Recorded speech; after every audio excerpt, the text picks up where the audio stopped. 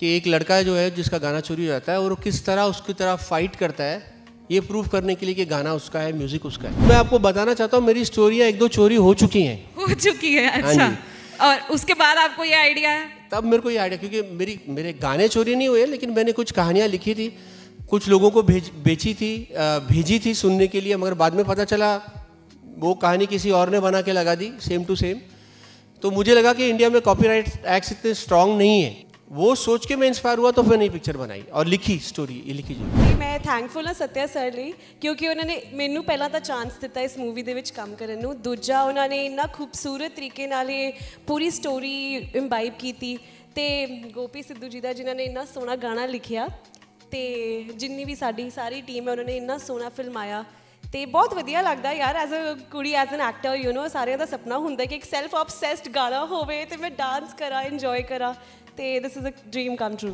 ਅਸੀਂ ਇਹ ਜੋ ਸੀਨ ਕਰਨਾ ਫਾਈਟ ਸੀਨ ਇਦਾਂ ਕਰਨਾ ਕਿ ਲਾਈਕ ਵਿਲਨ ਔਰ ਹੀਰੋ ਨਹੀਂ ਲੱਗਣੇ ਚਾਹੀਦੇ ਦੋ ਯੋ- ਅ, ਦੋ ਰੌਕ ਸਟਾਰ ਲੱਗਣੇ ਚਾਹੀਦੇ ਉਹ ਕਹਿੰਦਾ ਮੈਂ ਬੈਟਰ ਹਾਂ ਉਹ ਕਹਿੰਦਾ ਮੈਂ ਬੈਟਰ ਰੂ ਨਾਲ ਰੂ ਮਿਲੀ ਸੀਨੇ ਲਗ ਤੂੰ ਮਿਲੀ ਕੰਬਿਆ ਸ਼ਰੀਰ ਮੇਰਾ ਖੁਦਾ ਨੇ ਕੀ ਤਕਦੀਰ ਲਿਖੀ ਰੂ ਨਾਲ ਰੂ ਮਿਲੀ सीने लग तू मिली घर से तैयार होके किथे चले जाओ नाले कल्ले कल्ले हो ਸਾਨੂੰ ਵੀ ਨਾਲ ਲੈ ਜਾਓ ਜਿੱਥੇ ਚੱਲੇ ਜਾਓ ਨਾਲੇ ਕੱਲੇ ਕੱਲੇ ਹੋ ਨਾਲੇ ਕੱਲੇ ਕੱਲੇ ਹੋ ਜਦੋਂ ਸਿੱਧੂ ਮੂਸੇਵਾਲੇ ਸਾਹਿਬ ਦਾ ਵਾਕਿਆ ਆਪਾਂ ਯਾਦ ਕਰਦੇ ਆਂ ਤੇ ਰਿਲੇਟ ਕਰਕੇ ਹੀ ਦੇਖਦੇ ਆਂ ਕਿ ਸਿੰਗਿੰਗ ਦੇ ਹਵਾਲੇ ਨਾਲ ਤਾਂ ਨੁਕਸਾਨ ਹੋਇਆ 뮤직 ਦੇ ਹਵਾਲੇ ਨਾਲ ਹੋਇਆ।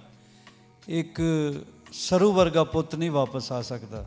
ਜ਼ਿੰਦਾ ਲਾਸ਼ਾਂ ਨੇ ਉਹ ਜਿੰਨੀ ਦੇਰ ਰਹਿਣਗੇ। ਔਰ ਸਾਰੇ ਜਹਾਨ ਦਾ ਹੀ ਨੁਕਸਾਨ ਹੋਇਆ। ਸਭ ਤੋਂ ਪਹਿਲਾਂ ਤਾਂ ਮੈਨੂੰ ਲੱਗਦਾ ਕਿ ਇੱਥੇ ਜਿੰਨੇ ਕੁ ਵੀ ਲੋਕ ਨੇ, ਜਿੰਨੇ ਵੀ ਸਾਰੇ ਜਾਂ ਮੀਡੀਆ ਵਾਲੇ ਨੇ ਜਾਂ ਸਾਡੇ ਆਡੀਅנס ਜਿੰਨੀ ਵੀ ਬੈਠੀ ਇੱਥੇ, ਕੋਈ ਵੀ ਐਸਾ ਇੱਕ ਇਨਸਾਨ ਨਹੀਂ ਹੋਊਗਾ ਜਿਹੜਾ ਸਿੱਧੂ ਮੂਸੇਵਾਲਾ ਦਾ ਫੈਨ ਨਹੀਂ ਹੋਊਗਾ। ਹੈ ਨਾ? ਤੇ ਰਹੀ ਜਸਟਿਸ ਦੀ ਗੱਲ, ਆਪਾਂ ਸਾਰੇ ਅਪੀਲ ਕਰ ਰਹੇ ਹਾਂ ਮਿਲ ਕੇ। ਸਾਰੇ ਚਾਹੁੰਦੇ ਆ ਕਿ ਜਸਟਿਸ ਮਿਲੇ ਹੈ ਨਾ ਕਿਉਂਕਿ ਇੱਕ ਐਸਾ ਸਟਾਰ ਖਤਮ ਹੋਇਆ ਆਪਣੇ ਇਸ ਪੰਜਾਬ ਦੇ ਵਿੱਚੋਂ ਜਿਹੜਾ ਆਉਣ ਆਉਣ ਵਾਲੇ ਮੈਨੂੰ ਲੱਗਦਾ ਕਿ ਆਉਣ ਵਾਲੇ 10 20 ਸਾਲ ਤੱਕ ਜਾਂ 50 ਸਾਲ ਤੱਕ ਤਾਂ ਕੋਈ ਹੋ ਨਹੀਂ ਸਕਦਾ ਮਾਈ ਦਾ ਲਾਲ ਪੈਦਾ। ਕਿਉਂਕਿ ਉਹ ਬੰਦਾ ਜੋ ਗਾ ਗਿਆ ਜੋ ਕਰ ਗਿਆ ਆਈ ਥਿੰਕ ਮੈਨੂੰ ਹੀ ਲੱਗਦਾ। ਸਤਿ ਸ਼੍ਰੀ ਅਕਾਲ। ਸਤਿ ਸ਼੍ਰੀ ਅਕਾਲ ਜੀ ਸਰ। ਸਰ ਪਤਾ ਲੱਗਿਆ ਕਿ ਸਟੋਰੀ ਵੀ ਤੁਸੀਂ ਲਿਖੀ ਹੈ ਇਹਦੀ। ਕੀ ਸੋਚ ਕੇ ਲਿਖਿਆ ਸੀਗਾ? ये एक्चुअली मैंने जो स्टोरी कंसीव की थी आ, सोचा ये था कि गाने बहुत चोरी हो जाते हैं। हमारी फ़िल्म लाइन में वैसे भी गाने बहुत सारे चोरी हो जाते हैं और कोई क्लेम नहीं कर सकता। कोई कोई हमारे पास ऐसे कुछ लॉज नहीं है जिसकी तरह से हम उसको क्लेम कर सकें। तो उन लोगों की सुनवाई होती ही नहीं है।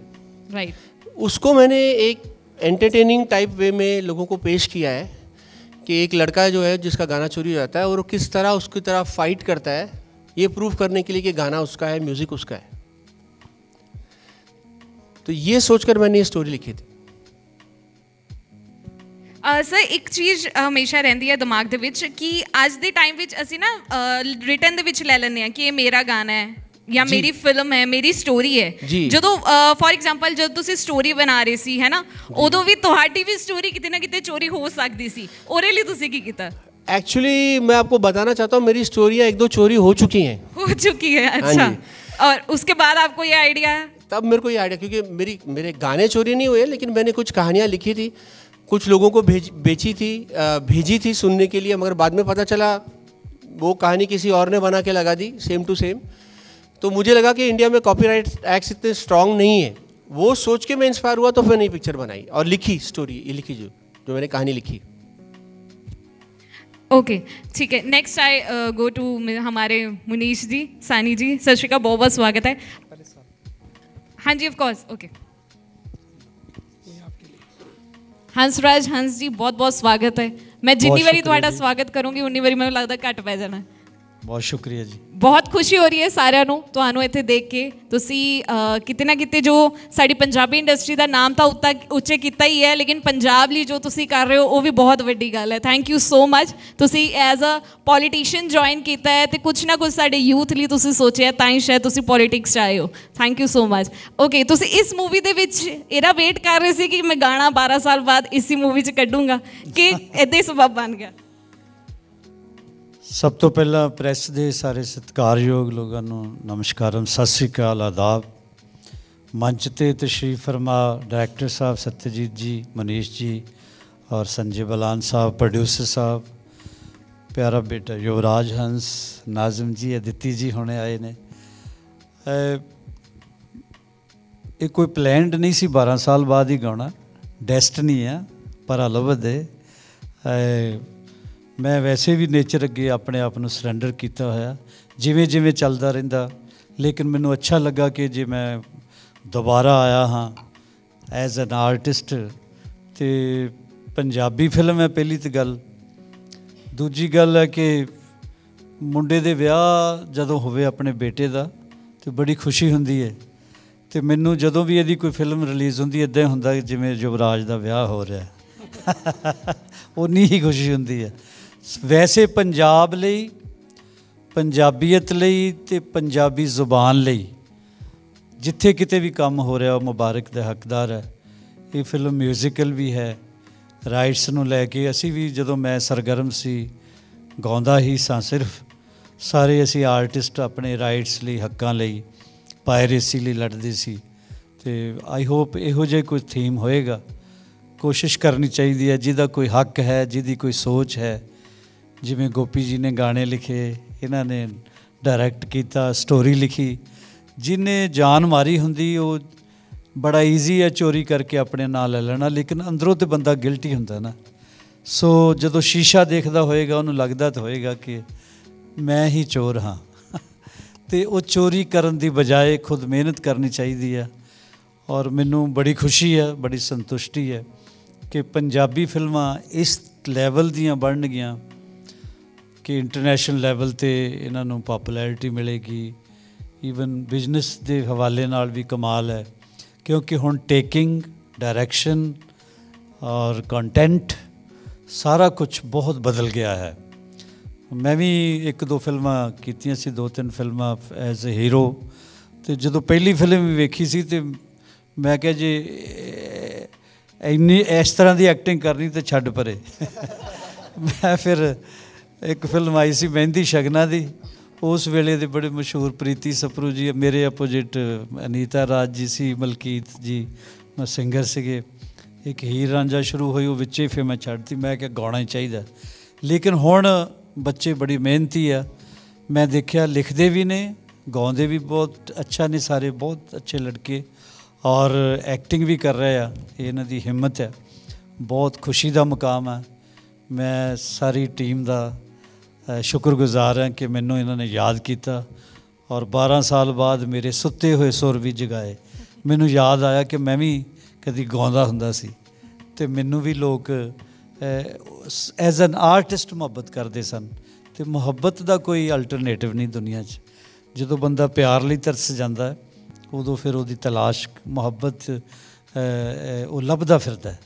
ਤੇ ਮੈਂ ਇਸ ਤਲਾਸ਼ 'ਚ ਸੀਗਾ ਕਿ the most people, the most hated people on the earth, they are politicians.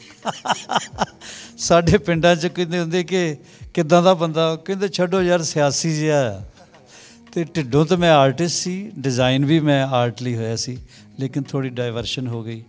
ਤੇ ਉਹ ਵੀ ਚਲੋ ਮੈਂ ਕੋਸ਼ਿਸ਼ ਕੀਤੀ ਹੈ ਕਿ ਕੋਈ ਐਸਾ ਨਾ ਮੇਰੇ ਤੋਂ ਹੋਵੇ ਜਿਵੇਂ ਸੱਚੇ ਸੁਰ ਲਾਏ ਇਸੇ ਤਰ੍ਹਾਂ ਉੱਥੇ ਵੀ ਮੈਂ ਜ਼ਿਆਦਾ ਉਹੀ ਬੋਲਦਾ ਜੋ ਮناسب ਹੋਵੇ। ਅੱਜ ਬਹੁਤ ਖੁਸ਼ੀ ਦਾ ਮੁਕਾਮ ਹੈ। ਟ੍ਰੇਲਰ ਰਿਲੀਜ਼ ਹੋ ਗਿਆ ਔਰ 12 ਤਰੀਕ ਨੂੰ ਇਹ ਫਿਲਮ ਆਏਗੀ ਤੇ ਮੀਡੀਆ 'ਚ ਬੜੀ ਪਾਵਰ ਹੈ। ਮੇਰੀ ਬੇਨਤੀ ਹੈ ਕਿ ਸਭ ਲੋਕਾਂ ਤਾਈਂ ਇਹ ਖਬਰ ਚਲੇ ਜਾਏ। ਜਿਹੜਾ ਵੀ ਬੰਦਾ ਥੀਏਟਰ 'ਚ ਆ ਜਾਏ, ਉਹ ਫਿਰ ਹੋਰਾਂ ਨੂੰ ਵੀ ਬੁਲਾਵੇ। ਹੋਰਾਂ ਨੂੰ ਕਵੇ ਕਿ ਯਾਨੀ ਮਾਊਥ ਪਬਲਿਸਿਟੀ ਫਿਰ ਬਾਅਦ 'ਚ ਸ਼ੁਰੂ ਹੋ ਜਾਂਦੀ ਹੈ। ਮੈਂ ਪ੍ਰੇ ਕਰਦਾ ਹਾਂ, ਦੁਆ ਕਰਦਾ ਹਾਂ। ਜਿੱਥੇ ਕਿਤੇ ਵੀ ਪੰਜਾਬੀ ਜ਼ੁਬਾਨ ਲਈ ਕੰਮ ਹੋ ਰਿਹਾ ਪੰਜਾਬੀਅਤ ਲਈ ਕੰਮ ਹੋ ਰਿਹਾ, ਪੰਜਾਬ ਲਈ ਹੋ ਰਿਹਾ, ਉਹ ਮੁਬਾਰਕ ਦੇ ਹੱਕਦਾਰ ਨੇ, ਕਿਉਂਕਿ ਅੱਜ ਇਸ ਮੁੰਡਾ ਰੌਕ ਸਟਾਰ ਲਈ ਆਇਆ ਤੇ ਦੋਨੇ ਮੁੰਡੇ ਮੈਨੂੰ ਤਾਂ ਲੱਗ ਰਿਹਾ ਹੈ। ਤੇ ਨਾਜ਼ਮ ਮਲੇਰਕੋਟਲੇ ਤੋਂ ਆ ਔਰ ਬੇਟੀਆ ਅਦਿੱਤੀ ਔਰ ਜਵਰਾਜ ਜੀ, ਸਾਰੀ ਟੀਮ ਨੂੰ ਮੈਂ ਇੱਕ ਵਾਰੀ ਫਿਰ ਸ਼ੁਭ ਕਾਮਨਾਵਾਂ ਵੀ ਦਿੰਦਾ ਵਾਂ, ਅਰਦਾਸ ਕਰਦਾ ਵਾਂ ਵੀ ਇਹਨਾਂ ਦਾ ਹਿੱਟ ਹੋਵੇ ਇਹ ਪ੍ਰੋਜੈਕਟ ਔਰ ਅੱਗੋਂ ਵੀ ਇਹ ਇਸ ਤਰ੍ਹਾਂ ਸਿਲਸਿਲਾ ਚੱਲਦਾ ਰਹੇ। ਬਹੁਤ ਬਹੁਤ ਸ਼ੁਕਰੀਆ। ਕੀ ਬਾਤ। ਸਰ ਇੱਕ ਕੁਐਸਚਨ ਹੋਰ ਰਹੇਗਾ ਤੁਹਾਡੇ ਤੋਂ ਹੰਸਰਾਜ ਹੰਸ ਜੀ ਕਿ ਤੁਸੀਂ ਹੁਣ ਸੋਚ ਰਹੇ ਹੋ ਫਿਲਮਾਂ ਚਾਹਣ ਦਾ? ਨਹੀਂ ਮੈਂ ਕੋਸ਼ਿਸ਼ ਤੇ ਜਾਣ ਦੀ ਕਰਦਾ ਹਮੇਸ਼ਾ ਫਿਲਮਾਂ ਕਿਉਂਕਿ ਇੱਕ ਟਾਈਮ ਹੁੰਦਾ। ਹਾਂ ਸੁਰ ਮੇਰੀ ਜ਼ਿੰਦਗੀ ਹੈ ਸੰਗੀਤ ਮੇਰੀ ਜ਼ਿੰਦਗੀ ਹੈ। ਹੋਰ ਵੀ ਮੈਂ ਦੋ ਤਿੰਨ ਫਿਲਮਾਂ 'ਚ ਗਾਇਆ। ਹੁਣ ਆ ਇੱਕ ਗਾਣਾ ਮੈਂ ਗਾਇਆ ਮੀਕਾ ਸਿੰਘ ਜੀ ਤੇ ਮੈਂ ਰਲ ਕੇ ਗਾਇਆ। ਉਹਦੀ ਉਹ ਵੀ ਮੇਰਾ ਖਿਆਲ ਆ ਵਾਵਾ ਚੱਲਣ ਦਾ ਖਤਰਾ ਹੈ। ਕਿਉਂਕਿ ਮੈਂ ਜਦੋਂ ਸੁਰ ਨਾਲ ਜੁੜਦਾ, ਮੈਨੂੰ ਉਦੋਂ ਹੀ ਵੀ ਲੱਗਦਾ ਕਿ ਮੈਂ ਜ਼ਿੰਦਾ ਹਾਂ। ਬਾਕੀ ਮੈਂ ਆਪਣੀ ਪਰਾਲਵ ਤਕਦੀਰ ਭੁਗਤ ਰਿਹਾ ਹਾਂ। ਲੇਕਿਨ ਜਦੋਂ ਮੈਂ ਗਾਉਂਦਾ ਹਾਂ, ਮੈਨੂੰ ਲੱਗਦਾ ਮੈਂ, ਮੇਰਾ, ਮੇਰੀ ਜ਼ਿੰਦਗੀ ਚੱਲ ਰਹੀ ਹੈ। ਸਾਰੇ ਹੁਣ ਵੇਟ ਹੀ ਕਰ ਰਹੇ, ਤੁਹਾਡੇ ਮੂੰਹ ਤੋਂ ਕੁਝ ਆਵਾਜ਼ ਆ ਜਾਏ ਕੁਝ ਸਿੰਗਿੰਗ ਲਈ ਜਾਂ ਇਸੇ ਮੂਵੀ ਦੇ ਵਿੱਚ ਕੁਝ ਗਾਇਆ ਹੋਵੇ, ਉਹ ਪਲੀਜ਼ ਸੁਣਾ ਦਿਓ।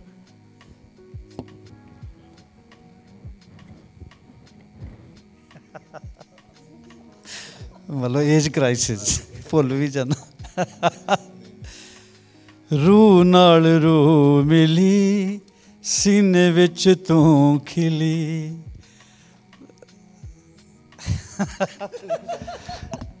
ਰੂ ਨਾਲ ਰੂ ਮਿਲੀ, ਸੀਨੇ ਲਗ ਤੂੰ ਮਿਲੀ। ਅੱਗੇ ਗੋਪੀ ਕੀ ਸੀ? ਹਾਂ।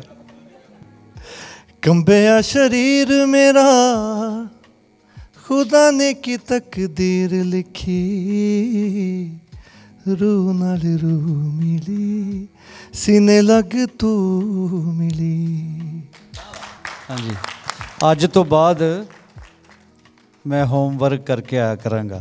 ਉਹ ਜ਼ਿੰਦਾਬਾਦ ਮੁਰਦਾਬਾਦ ਕਰਦੇ ਰਹਿੰਦੇ। ਗਾਣਾ ਇੱਕ ਹੀ ਯਾਦ ਰਹਿ ਗਿਆ ਸੀ ਭਾਰਤ ਮਾਤਾ ਕੀ ਜੈ। ਆ ਵੀ ਯਾਦ ਹੁਣ ਕਰਾਂਗਾ। ਅੱਜ ਤੋਂ ਬਾਅਦ ਮੈਂ ਹੁਣ ਇਹ ਅੱਜ ਇਹ ਸਿੱਖਿਆ ਮੰਚ ਤੋਂ ਕਿ ਇਹਦੇ ਲਈ ਵੀ ਹੋਮਵਰਕ ਕਰਕੇ ਆਇਆ ਕਰਾਂਗਾ। ਅਗਲੀ ਵਾਰ ਤੁਹਾਨੂੰ ਕਿਸੇ ਫਿਲਮ 'ਚ ਦੇਖਾਂਗੇ ਤੇ ਐਕਟਿੰਗ ਕਰਾਵਾਂਗੇ। ਹਾਂਜੀ। ਆ ਹੁਣ ਇੱਕ ਗੀਤ ਦੁਬਾਰਾ ਗਾਇਆ ਦੋਨਾਂ ਨੇ ਮੈਂ ਤੇ ਮਿੱਕੀ ਨੇ ਥੋੜਾ ਸੁਣਾ ਦਿੰਦਾ।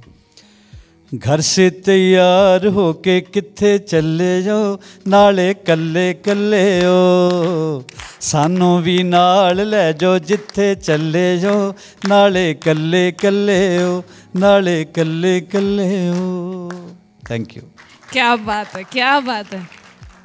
ਓਕੇ ਨਾਲ ਹੀ ਸਾਡੇ ਪ੍ਰੋਡਿਊਸਰ ਸਰ ਸਰ ਪਲੀਜ਼ ਤੁਹਾਡੇ ਤੋਂ ਤਾਂ ਤੁਹਾਡੇ ਬਿਨਾ ਜਿਹੜੀ ਹੈ ਮੂਵੀ ਪੂਰੀ ਦੀ ਪੂਰੀ ਅਧੂਰੀ ਸੀਗੀ। ਸੰਜੇ ਸਰ ਸੋ ਬਹੁਤ ਬਹੁਤ ਵੈਲਕਮ ਸਰ ਸਰ ਕੀ ਸੋਚ ਕੇ ਅਹ, ਪਹਿਲਾ ਪ੍ਰੋਡਿਊਸਰ ਦਾ ਹੀ ਹੁੰਦਾ ਹੈ ਨਾ ਮੇਨ ਚੀਜ਼ ਜਦੋਂ ਤੱਕ ਪ੍ਰੋਡਿਊਸਰ ਲੱਭਦੇ ਡਾਇਰੈਕਟਰ ਹੈ ਨਾ ਕਿ ਇਹ ਫਿਲਮ ਦੇ ਵਿੱਚ ਕੋਈ ਪੈਸਾ ਲਗਾ ਦੇ ਐਂਡ ਰਿਸਕ ਫੈਕਟਰ ਹੁੰਦਾ ਹੈ ਕਿਤੇ ਨਾ ਕਿਤੇ। ਤੁਸੀਂ ਕਹਾਣੀ ਸੁਣੀ ਤੇ ਕਿੰਨੀ ਕੁ ਪਸੰਦ ਆਈ ਤੇ ਲੱਗਾ ਕਿ ਯਾਰ ਮੈਂ ਤੇ ਕਰਨੀ ਹੈ ਪਹਿਲੀ ਚੀਜ਼ ਨਾ ਬੋਲਤੀ ਸੀ ਹਾਂ ਬੋਲ ਦਿੱਤੀ ਸੀ ਕਿ ਨਾ ਬੋਲ ਦਿੱਤੀ ਸੀ ਮੈਨੂੰ ਇਹ ਦੱਸ ਦਿਓ नहीं सबको नमस्कार मेरा ਹਾਂਜੀ हमारा क्या है मैं बिजनेसमैन हूँ ਹਾਂਜੀ तो हमारे जब टेंशन आती है तो एक ही काम होता है चलो फिल्म चलो और दूसरा घर में कोई रुस जाता है बीबी से झगड़ा होता है तो उसको खुश करना होता है कहते हैं फिल्म चलो तो बच्चे से बच्चे ये फार्मूला बना रखा है फिल्म देखने का जी और जो सत्यजीत भाई है मेरे दोस्त हैं जी ये मेरे पास आते रहते हैं बंगलोर ये अच्छा। मेरे पास आए थे तो बारिश होने लगी हम बैठे थे बालकोनी में।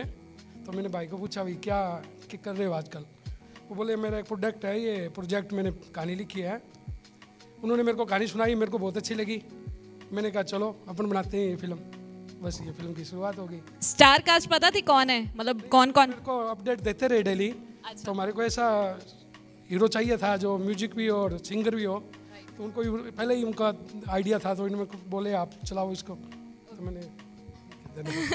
सो स्वीट बहुत स्वीट प्रोड्यूसर है। मैंने लगता डांटते ढूंढते नहीं है प्रोड्यूसर है ना? ओके ठीक है जी युवराज जी युवराज हंस जी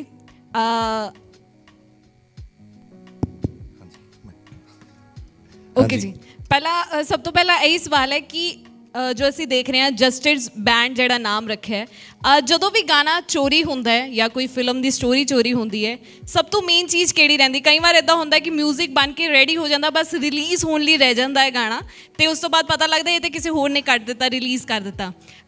ਲਾਸ ਬਿਜ਼ਨਸ ਦਾ ਸਭ ਤੋਂ ਜ਼ਿਆਦਾ ਅ, ਲੱਗਦਾ ਹੈ ਕਿ ਯਾਰ ਲਾਸ ਹੋ ਗਿਆ ਕੋਈ ਪੈਸੇ ਵੀ ਨਹੀਂ ਕਮਾਏ ਇੰਨੇ ਪੈਸੇ ਲਗਾ ਦਿੱਤੇ। ਯਾਰ ਮਿਹਨਤ ਦਾ ਤੁਹਾਨੂੰ ਲੱਗਦਾ ਹੈ ਥੋੜਾ ਦੁੱਖ ਹੋ ਜਾਂਦਾ ਹੈ ਦੋਨਾਂ ਵਿੱਚੋਂ ਕਿਸ ਚੀਜ਼ ਦਾ ਜ਼ਿਆਦਾ ਤੁਹਾਨੂੰ ਦੁੱਖ ਹੁੰਦਾ ਹੈ? ਅਮ ਸਭ ਤੋਂ ਪਹਿਲਾਂ ਸਾਰਿਆਂ ਨੂੰ ਸਤਿ ਸ਼੍ਰੀ ਅਕਾਲ। ਮੀਡੀਆ ਵਾਲਿਆਂ ਨੂੰ specially thank you for coming ਤੁਸੀਂ ਟਾਈਮ ਕੱਢਿਆ ਸਾਡੇ ਲਈ। ਤੁਹਾਡੇ ਸਵਾਲ ਦਾ ਆਨਸਰ ਆਬਵੀਅਸਲੀ ਜੀ ਜਿਹੜਾ ਤਾਂ ਆਰਟਿਸਟ ਹੋਊਗਾ ਅੰਦਰੋਂ, ਉਹਨੂੰ ਤਾਂ ਆਪਣੀ ਮਿਹਨਤ ਦਾ ਹੀ ਦੁੱਖ ਹੁੰਦਾ। ਪੈਸੇ ਪੂਸੇ ਦੀ ਤਾਂ ਆਰਟਿਸਟ ਬਾਅਦ ਚੋਂ ਪਰਵਾਹ ਕਰਦਾ, ਜਦੋਂ ਉਹਦਾ ਨਾਂ ਨੂੰ ਹੋ ਜਾਂਦਾ ਜਾਂ। ਬਟ ਪਹਿਲਾਂ ਜਿਹੜੀ ਮਿਹਨਤ ਲੱਗੀ ਹੁੰਦੀ, ਉਹਦਾ ਹਾਰਡ ਵਰਕ ਹੁੰਦਾ, ਉਸ ਚੀਜ਼ ਪਿੱਛੇ ਦਿਨ ਰਾਤ ਇੱਕ ਕੀਤਾ ਹੁੰਦਾ। ਉਹ ਫਿਰ ਜਦੋਂ ਪਤਾ ਲੱਗਦਾ ਕਿ ਕਿਸੇ ਹੋਰ ਬੰਦੇ ਨੇ ਤੁਹਾਡਾ ਕ੍ਰੈਡਿਟ ਲੈ ਲਿਆ, ਉਹ ਆਬਵੀਅਸਲੀ ਬਹੁਤ ਜ਼ਿਆਦਾ ਦੁੱਖਦਾਇਕ ਹੁੰਦਾ। ਫਿਰ ਮੈਨੂੰ ਪਰਸਨਲੀ ਇਹ ਲੱਗਦਾ ਕਿ ਪੈਸਿਆਂ ਨਾਲੋਂ ਜ਼ਿਆਦਾ ਮਿਹਨਤ ਜਿਹੜੀ ਹੋਈ ਹੁੰਦੀ ਆ ਦਿਨ ਰਾਤ ਇੱਕ ਕੀਤਾ ਹੁੰਦਾ, ਉਹਦਾ ਜ਼ਿਆਦਾ ਦੁੱਖ ਲੱਗਦਾ ਕਿ ਯਾਰ ਮੈਂ ਇਸ ਚੀਜ਼ ਲਈ ਇੰਨਾ ਦੌੜਿਆ, ਭੱਜਿਆ, ਔਰ ਮੇਰੀ ਆਪਣੀ ਚੀਜ਼ ਆ। ਉਹ, ਉਹ- ਉਸ ਚੀਜ਼ ਤੇ ਹੱਕ ਕੋਈ ਹੋਰ ਜਤਾ ਰਿਹਾ। ਸੋ ਆਈ ਥਿੰਕ ਉਹ, ਹਾਂਜੀ। ਰਾਈਟ ਅੱਛਾ, ਜੋ ਛੋਟਾ ਤੁਹਾਡਾ ਬੇਬੀ ਜੋ ਹੈ ਉਹਦੇ ਜਦੋਂ ਤੁਹਾਨੂੰ ਦੇਖਦਾ ਹੈ ਸਕਰੀਨ ਤੇ ਜਾਂ ਤੁਹਾਡੇ ਗਾਣੇ ਸੁਣਦਾ ਉਹਦਾ ਕੀ ਰਿਐਕਸ਼ਨ ਹੁੰਦਾ? ਉਹ ਬਹੁਤ ਖੁਸ਼ ਉਹ ਹਜੇ ਵੀ ਮੇਰੀ ਫਿਲਮ ਆਈ ਸੀ ਲਾਸਟ ਮੰਥ ਗੁੜੀਆ। ਉਹ ਹਜੇ ਵੀ ਹੋਰਡਿੰਗਸ ਲੱਗੇ ਹੋਏ ਆ ਉਹਦੇ। ਤੇ ਉਹ ਜਿੱਥੋਂ ਵੀ ਲੰਘਦਾ ਆ ਉਹ ਹਰ ਵਾਰੀ ਇਹ ਕਹਿੰਦਾ ਪਾਪਾ ਕੀ ਮੂਵੀ ਪਾਪਾ ਕੀ ਮੂਵੀ ਉਹ ਉਹ ਉਹ ਸਕੂਲ ਵੀ ਜਦੋਂ ਜਾਂਦਾ ਸੀਗਾ ਉਹ ਸਾਰਿਆਂ ਨੂੰ ਉਹ ਮੇਰੀ ਚੱਲਦੀ ਫਿਰਦੀ ਐਡ ਹੈ ਐਕਚੁਅਲੀ ਸਕੂਲ ਵੀ ਜਾ ਕੇ ਸਾਰੇ ਟੀਚਰਸ ਨੂੰ ਕਹਿੰਦਾ ਸੀ ਪਾਪਾ ਕੀ ਮੂਵੀ ਆ ਰਹੀ ਹੈ? ਉਹ ਬਹੂ ਵਾਲੀ ਹੁਣ ਉਹ ਕਰੂਗਾ ਹੁਣ ਉਹਨੇ ਆ ਦੇਖਣਾ ਅੱਜ ਤੋਂ ਸਟਾਰਟ ਕਰ ਦੂਗਾ ਟ੍ਰੇਲਰ ਵਗੈਰਾ। ਹੁਣ ਰੌਕ ਸਟਾਰ ਬਣੂਗਾ ਉਹ। And am blessed to have him in my life mouth to mouth advertisement ਕਰਦਾ ਉਹ ਹਾਂ ਤੁਹਾਡੇ। ਹਾਂ ਉਹੀ ਦੱਸਿਆ ਨਾ ਚੱਲਦੀ ਫਿਰਦੀ ਐਡ ਆ ਮੇਰੀ। ਰਾਈਟ ਓਕੇ ਤੁਹਾਡੀ ਬੈਕਬੋਨ ਤੁਹਾਡੇ ਜੋ ਵਾਈਫ ਨੇ ਮੈਂ ਉਹਨਾਂ ਲਈ ਵੀ ਪੁੱਛਣਾ ਚਾਹਨੀ ਹਾਂ ਕਿ ਕਿੰਨਾ ਕੁ ਜ਼ਰੂਰੀ ਹੈ ਉਹਨਾਂ ਦਾ ਸਾਥ ਤੁਹਾਡੀ ਜ਼ਿੰਦਗੀ ਦੇ ਵਿੱਚ ਹੋਣਾ ਜਾਂ ਕਿੰਨਾ ਕੁ ਤੁਹਾਡੀ ਹੈਲਪ ਕਰਦੇ ਨੇ ਹਰ ਚੀਜ਼ ਦੇ ਵਿੱਚ? ਆਬਵੀਅਸਲੀ ਜੀ ਲਾਈਫ ਪਾਰਟਨਰ ਦਾ ਅੰਡਰਸਟੈਂਡਿੰਗ ਹੋਣਾ, ਤੁਹਾਡਾ ਸਾਥ ਦੇਣਾ ਉਹਦਾ ਸਾਥ ਦੇਣਾ, ਇੱਕ ਦੂਜੇ ਦਾ ਸਾਥ ਦੇਣਾ ਬਹੁਤ ਇੰਪੋਰਟੈਂਟ ਆ। ਕਿਉਂਕਿ ਸਪੈਸ਼ਲੀ ਸਾਡੀ ਲਾਈਨ 'ਚ ਲਾਈਫ ਇੰਨੀ ਬਿਜ਼ੀ ਹੋ ਜਾਂਦੀ ਆ। ਮੋਸਟ ਆਫ ਦਾ ਟਾਈਮਸ ਅਸੀਂ ਸ਼ੋਜ਼ ਜਾਂ ਟਰੈਵਲ ਕਰ ਰਹੇ ਆ ਪਿੱਛੇ ਬੱਚਿਆਂ ਨੂੰ ਸੰਭਾਲਣਾ ਸਾਰਾ, ਜਿੱਦਾਂ ਸਾਡੇ ਮਦਰ ਨੇ ਵੀ ਕੀਤਾ, ਅਸੀਂ ਦੇਖਿਆ ਉਹਨਾਂ ਨੂੰ। ਡੈਡ ਜਿੱਦਾਂ ਕੰਮ ਕਰਦੇ ਸੀ ਬਿਜ਼ੀ ਰਹਿੰਦੇ ਸੀ ਪਿੱਛੇ ਮਾਵਾਂ ਦਾ ਹੀ ਰੋਲ ਹੁੰਦਾ ਬੱਚਿਆਂ ਨੂੰ ਦੇਖਣਾ ਘਰ ਸੰਭਾਲਣਾ। ਸੋ ਆਈਵ ਬੀਨ ਲੱਕੀ ਇੱਕ ਅੱਛਾ ਅੱਛੀ ਕੁੜੀ ਮਿਲੀ ਆ ਘਰ ਸੰਭਾਲ ਲੈਂਦੀ ਆ। ਪਹਿਲਾਂ ਮੰਮੀ ਨੇ ਸੰਭਾਲਿਆ ਹੁਣ ਉਹ ਸੰਭਾਲੇ ਹੁਣ ਦੋਵੇਂ ਰਲ ਕੇ ਸੰਭਾਲਦੇ ਘਰ। ਕੀ ਬਾਤ ਹੈ। ਕੁੱਟਦੇ ਵੀ ਆ ਦੋਵੇਂ ਰਲ ਕੇ। ਤੰਗ ਕਰਦੇ ਦੋਨੋਂ ਮਿਲ ਕੇ ਤੁਹਾਨੂੰ? ਹਾਂਜੀ। ਦੋਨੋਂ ਮਿਲ ਕੇ ਤੰਗ ਕਰਦੇ ਆ ਮਮਾ ਨਹੀਂ ਪਾਪਾ ਤੇ ਤੁਹਾਨੂੰ? ਮੈਂ ਤੇਰੇ ਦਾਨ ਹੀ ਤੰਗ ਕਰਦੇ ਆ ਉਹਨਾਂ ਨੂੰ ਦੋਵਾਂ ਨੂੰ। ਓਕੇ ਠੀਕ ਹੈ ਨੈਕਸਟ ਕੁਐਸਚਨ ਟੂ ਅਦਿਤੀ ਜੀ ਅਦਿਤੀ ਜੀ ਬਹੁਤ ਬਹੁਤ ਸਵਾਗਤ ਹੈ you are looking so beautiful so elegant just looking like a wow ਅੱਜ ਕੱਲ ਸਾਡੀ ਰੀਲ ਵੀ ਬੜੀ ਵਾਇਰਲ ਹੋ ਰਹੀ ਹੈ ਸਭ ਤੋਂ ਪਹਿਲਾਂ ਪੁੱਛਣਾ ਚਾਹੂੰਗੀ ਤੁਸੀਂ ਸਾਡਾ ਕੰਮ ਕੀਤਾ ਹੈ ਫਿਲਮ ਦੇ ਵਿੱਚ ਐਜ਼ ਅ ਮੀਡੀਆ ਪਰਸਨ ਕਿੰਨਾ ਕੋਖਾ ਹੈ ਦੱਸ ਹੀ ਦਿਓ ਅੱਜ ਪਹਿਲਾਂ ਤਾਂ ਮੇਰੇ ਵੱਲੋਂ ਤੁਹਾਨੂੰ ਸਾਰਿਆਂ ਨੂੰ ਬਹੁਤ ਪਿਆਰ ਭਰੀ ਸਤਿ ਸ਼੍ਰੀ ਅਕਾਲ ਤੇ ਤੁਹਾਡੇ ਮੈਂ ਦਿਲੋਂ ਮਾਫੀ ਮੰਗਦੀ ਹਾਂ ਕਿ ਮੈਂ ਲੇਟ ਆ ਗਈ ਹੋਈ ਤੇ ਸਰ ਜੀ, ਮੈਨੂੰ ਬਹੁਤ ਚੰਗਾ ਲੱਗ ਰਿਹਾ ਤੁਹਾਨੂੰ ਰੂਬਰੂ ਦੇਖ ਕੇ ਤੇ ਮਿਲ ਕੇ ਤੇ ਮੇਰੇ ਵੱਲੋਂ ਸਾਰਿਆਂ ਨੂੰ ਹੈਲੋ ਵਾਂਸ ਅਗੇਨ ਤੇ ਬਹੁਤ ਵਧੀਆ ਲੱਗ ਰਿਹਾ media has always been very triggering very powerful very impeccable ਤੇ ਬਹੁਤ ਵਧੀਆ ਲੱਗਦਾ ਕਿ ਮੀਡੀਆ ਕੋਲ ਜਿੰਨੀ ਪਾਵਰ ਹੈ, ਆਪਾਂ ਕਿੰਨੇ ਤਰੀਕੇ ਨਾਲ ਸ਼ੋਕੇਸ ਕਰ ਸਕਦੇ ਹਾਂ ਤੇ ਇਸ ਮੂਵੀ ਦੇ ਵਿੱਚ ਮੈਂ ਬਹੁਤ ਚੰਗੇ ਤਰੀਕੇ ਨਾਲ ਉਹ ਪਾਵਰ ਸ਼ੋਕੇਸ ਕੀਤੀ ਹੈ। ਇੱਕ ਗਾਣਾ ਰਿਲੀਜ਼ ਹੋ ਚੁੱਕਾ ਹੈ ਦੋ ਗਾਣੇ ਰਿਲੀਜ਼ ਹੋ ਚੁੱਕੇ ਆ ਮੂਵੀ ਦੇ ਕਿੰਨੀ ਸੋਹਣੀ। ਜਦੋਂ ਅਸੀਂ ਇਸ ਗਾਣੇ ਨੂੰ ਦੇਖਦੇ ਹਾਂ ਆਈ ਥਿੰਕ ਸਾਰੇ ਐਗਰੀ ਕਰਨਗੇ ਕਿ ਪੰਜਾਬ ਦੀ ਜਿੱਦਾਂ ਕਰੀਨਾ ਕਪੂਰ ਹੈ ਨਾ ਉਹਦਾ ਲੱਗ ਰਹੀ ਹੈ ਤੁਹਾਡੀ ਐਂਟਰੀ ਐਗਰੀ ਹੋ ਪੂਰੇ? ਕਰੀਨਾ ਕਪੂਰ ਦਾ ਤਾਂ ਪਤਾ ਨਹੀਂ ਪਰ ਹਾਂ ਪੰਜਾਬ ਦੀ ਦਿੱਤੀ ਆ ਰਿਹਾ ਜ਼ਰੂਰ ਹੈ। ਕੀ ਬਾਤ ਹੈ। Okay just like Kabhi Khushi Kabhie Gham ਦੀ ਕਰੀਨਾ ਕਪੂਰ ਐਂਟਰੀ ਕਰਦੇ ਇਦਾਂ ਹੀ ਲੱਗ ਰਿਹਾ ਸੀ ਕਿ ਇੱਥੇ ਸਾਡੀ ਅਦਿਤੀ ਐਂਟਰੀ ਕਰ ਰਹੀ ਹੈ। ਬਿਲਕੁਲ ਸੇਮ ਗਾਣਾ ਇਦਾਂ ਲੱਗਾ ਜੋ ਵਾਈਬ ਆ ਰਹੀ ਸੀ। ਉਹ ਗਾਣੇ ਨੂੰ ਸ਼ੂਟ ਕਰਦੇ ਹੋਏ ਕੁੜੀ ਦਾ ਸੁਪਨਾ ਹੁੰਦਾ ਹੈ ਸਾਰੀ ਕੁੜੀਆਂ ਦਾ ਕਿ ਇਦਾਂ ਦਾ ਗਾਣਾ ਸ਼ੂਟ ਕਰਨ ਲਈ ਮਿਲੇ। ਕਿਵੇਂ ਦਾ ਲੱਗਾ? ਐਕਸਪੀਰੀਅੰਸ ਕੀ ਸੀਗਾ? ਐਕਚੁਅਲੀ ਮੈਂ ਥੈਂਕਫੁਲ ਹਾਂ ਸਤਿਆ ਸਰ ਲਈ, ਕਿਉਂਕਿ ਉਹਨਾਂ ਨੇ ਮੈਨੂੰ ਪਹਿਲਾਂ ਤਾਂ ਚਾਂਸ ਦਿੱਤਾ ਇਸ ਮੂਵੀ ਦੇ ਵਿੱਚ ਕੰਮ ਕਰਨ ਨੂੰ। ਦੂਜਾ, ਉਹਨਾਂ ਨੇ ਇੰਨਾ ਖੂਬਸੂਰਤ ਤਰੀਕੇ ਨਾਲ ਇਹ ਪੂਰੀ ਸਟੋਰੀ ਇੰਬਾਈਬ ਕੀਤੀ ਤੇ ਗੋਪੀ ਸਿੱਧੂ ਜੀ ਦਾ, ਜਿਨ੍ਹਾਂ ਨੇ ਇੰਨਾ ਸੋਹਣਾ ਗਾਣਾ ਲਿਖਿਆ ਤੇ ਜਿੰਨੀ ਵੀ ਸਾਡੀ ਸਾਰੀ ਟੀਮ ਹੈ, ਉਹਨਾਂ ਨੇ ਇੰਨਾ ਸੋਹਣਾ ਫਿਲਮਾਇਆ ਤੇ ਬਹੁਤ ਵਧੀਆ ਲੱਗਦਾ ਯਾਰ ਐਜ਼ ਅ ਕੁੜੀ as an actor you know ਸਾਰਿਆਂ ਦਾ ਸੁਪਨਾ ਹੁੰਦਾ ਕਿ ਇੱਕ ਸੈਲਫ ਆਬਸੈਸਡ ਗਾਣਾ ਹੋਵੇ ਤੇ ਮੈਂ ਡਾਂਸ ਕਰਾਂ ਇੰਜੋਏ ਕਰਾਂ ਤੇ this is a dream come true thank you so much thank you next question to you Mohammed Nazim ji ਪਹਿਲਾਂ ਤੇ ਬਹੁਤ ਬਹੁਤ ਸਵਾਗਤ ਹੈ ਜੀ। ਥੈਂਕ ਯੂ ਸੋ ਮਚ ਤੇ ਤੁਹਾਨੂੰ ਸਾਰਿਆਂ ਨੂੰ ਨਮਸਤੇ ਸਤਿ ਸ਼੍ਰੀ ਅਕਾਲ ਅਸਲਾਮ ਜੀ। ਤੁਸੀਂ ਮਲੇਰਕੋਟਲਾ ਤੋਂ ਰਾਈਟ ਯਾਰ ਹੁਣ ਮੈਂ ਕਿੰਨੀ ਕੁ ਵਾਰ ਦੱਸਾਂ ਕਿ ਮੈਂ ਮਲੇਰਕੋਟਲੇ ਤੋਂ ਹਾਂ। ਅੱਛਾ ਤੁਸੀਂ ਜਦੋਂ ਪੰਜਾਬੀ ਇੰਡਸਟਰੀ ਦੇ ਵਿੱਚ ਆਫ ਕੋਰਸ ਤੁਸੀਂ ਆਏ ਹੋ ਹੁਣ ਹੈ ਨਾ? ਤੇ ਕੀ ਕਹਿਣਾ ਚਾਹੋਗੇ? ਫਿਲਮਾਂ ਨੂੰ ਲੈ ਕੇ ਘੱਟ ਪੁੱਛਾਂਗੀ ਇਹ ਪੁੱਛਾਂਗੀ ਜੋ ਤੁਹਾਡੇ ਨਾਲ ਦੋ ਸਟਾਰ ਕਾਸਟ ਹੈ। ਉਹਨਾਂ ਦਾ ਕੀ ਰਿਹਾ ਤੁਹਾਡੇ ਪ੍ਰਤੀ ਰਿਐਕਸ਼ਨ ਹੋਵੇ ਜਾਂ ਤੁਹਾਡੇ ਨਾਲ ਕੋਈ ਪ੍ਰੈਂਕ ਪ੍ਰੂੰਕ ਤੇ ਨਹੀਂ ਕਰਦੇ ਸੀ ਤੁਹਾਨੂੰ ਛੇੜਦੇ ਤਾਂ ਨਹੀਂ ਸੀਗੇ? ਆਈ ਥਿੰਕ ਜਿੰਨਾ ਕੁ ਅਸੀਂ ਕੰਮ ਕੀਤਾ ਨਾਲ ਮਿਲ ਕੇ ਹੈ ਨਾ? ਤੇ ਹੀ ਸੋ ਹੰਬਲ ਦੋਨੋਂ ਜਣੇ ਸੈਕੰਡਲੀ ਅਦਿਤੀ ਨਾਲ ਮੇਰਾ ਇੰਨਾ ਕੰਮ ਨਹੀਂ ਹੋਇਆ ਬਿਕੋਜ਼ ਮੇਰਾ ਡਿਫਰੈਂਟ ਜੋਨਰ ਸੀਗਾ ਫਿਲਮ ਦੇ ਵਿੱਚ ਜੋ ਦਿਖਾਇਆ ਜਾਊਗਾ ਤੁਹਾਨੂੰ ਜੋ ਤੁਸੀਂ ਦੇਖੋਗੇ। ਤੇ ਬਾਕੀ ਯੁਵਰਾਜ ਨਾਲ ਬਹੁਤ ਵਧੀਆ ਲੱਗਿਆ ਮੈਨੂੰ। ਐਜ਼ ਐਨ ਬ੍ਰਦਰ ਅਸੀਂ ਕੰਮ ਕੀਤਾ ਟੀਮ ਵਰਕ ਕੰਮ ਕੀਤਾ। ਦੈਨ ਸੈਕੰਡਲੀ ਜਦੋਂ ਅਸੀਂ ਫਾਈਟ ਸੀਨ ਦੇਖੋਗੇ ਨਾ ਤੁਸੀਂ ਜਿੰਨਾ ਵੀ ਫਾਈਟ ਸੀਨ ਦੇਖੋਗੇ। ਤੇ ਮੈਨੇ ਔਰ ਯੁਵਰਾਜ ਨੇ ਸਾਡੇ ਪਹਿਲਾਂ ਡਿਸਕਸ਼ਨ ਕੀਤੀ ਸੀਗੀ ਵੀ ਅਸੀਂ ਇਹ ਜੋ ਸੀਨ ਕਰਨਾ ਫਾਈਟ ਸੀਨ ਇਦਾਂ ਕਰਨਾ ਕਿ ਲਾਈਕ ਵਿਲਨ ਔਰ ਹੀਰੋ ਨਹੀਂ ਲੱਗਣੇ ਚਾਹੀਦੇ। ਦੋ ਯੋ- ਦੋ ਰੌਕ ਸਟਾਰ ਲੱਗਣੇ ਚਾਹੀਦੇ, ਉਹ ਕਹਿੰਦਾ ਮੈਂ ਬੈਟਰ ਹਾਂ, ਉਹ ਕਹਿੰਦਾ ਮੈਂ ਬੈਟਰ ਹਾਂ। ਤੇ ਉਸ ਬੌਂਡ ਨੂੰ ਲੈ ਕੇ ਅਸੀਂ ਅੱਗੇ ਵਧੇ। ਜਦੋਂ ਅਸੀਂ ਸੀਨ ਕੀਤਾ ਵੀ ਵਨ ਅਸੀਂ ਦੋ ਤਿੰਨ ਕਦੇ ਸਾਨੂੰ ਕਰਨਾ ਨਹੀਂ ਪਿਆ ਕਿ ਸਾਨੂੰ ਕੱਟ ਜ਼ਿਆਦਾ ਕਰਨਾ ਪਿਆ ਜਾਂ ਸਾਨੂੰ ਰੀਟੇਕ ਕਰਨਾ ਪਿਆ। ਅਸੀਂ ਪਹਿਲਾਂ ਰਿਹਰਸਲ ਕੀਤੀ ਉਸ ਚੀਜ਼ ਦੀ, ਬਾਕਾਇਦਾ। ਤੇ ਉਸ ਤੋਂ ਬਾਅਦ ਅਸੀਂ ਸੀਨ ਜਾ ਕੇ ਕੀਤਾ ਪ੍ਰੋਪਰ ਵੀ ਜਿਸ ਤਰ੍ਹਾਂ ਲੱਗਿਆ ਕਿ ਇਹ ਸੀਨ ਇਸ ਤਰ੍ਹਾਂ ਪੰਚਮਾਨ ਹੈ ਵੀਰੇ, ਆਪਾਂ ਇਸ ਤਰ੍ਹਾਂ ਲੱਗਣਾ ਚਾਹੀਦਾ ਵੀ ਇਦਾਂ ਲੱਗੇ ਕਿ ਆਪਣੀ ਦੋਨੋਂ ਹੀ ਲਵ ਸਟੋਰੀ ਚੱਲ ਰਹੀ ਹੈ ਇੱਕ ਲੜਾਈ ਦੇ ਵਿੱਚ, ਤਾਂ ਕਿ ਲੋਕਾਂ ਨੂੰ ਵਧੀਆ ਲੱਗੇ। Okay a scene director sir no मज़ा आया करण करंच पूरा डायरेक्टर सर तो छोड़ के चले गए थे वो तो फाइटर सीन कर रहे थे डायरेक्टर सर ने हमें सब पहले करवा दिया था रिहर्सल करवा दी तीन दिन क्योंकि अच्छा। वो जो फाइट सीन्स होते हैं ना वो सारे फाइट मास्टर्स करते हैं ओके okay, राइट right. तो okay. उनका वो लुकअप होता है वो सारा ओके okay. तो जो डायरेक्टर टीम होती है वो देखते हैं वो uh, इवन देखते हैं कि वो जो सीन मिले बताए उस तरीके से हो रहा है या नहीं हो रहा right. बाकी जो जैसे जैसे जिसका सीन होता है जैसे अभी uh, सिंगिंग की बात करेंगे तो सिंगिंग में पता है ना किसका क्या काम है। तो उसमें डायरेक्टर जाके सुनते हैं।